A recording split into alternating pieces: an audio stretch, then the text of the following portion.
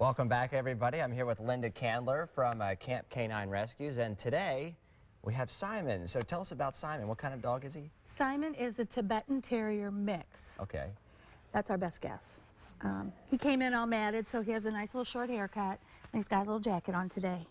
And he's from uh, he's from Indianapolis. He's from Indianapolis, yeah. It's a pretty big shelter down there. Now, as far as uh, kids go, how's he with with children? Um, we would guess probably eight and over would be a great for, great for him. He's more of a laid back, want to sit in your lap type of a dog, so maybe a lot of commotion wouldn't be all that great for him. and pets as well. Uh, He's great with dogs, cats, yes, absolutely. Okay. And tell us tell us more specifically about the you know application process when you want to get a, a dog adopted. We move really quickly and it's pretty easy. We just need to make sure that you're a good pet owner. That's all we're looking for. Okay, very good.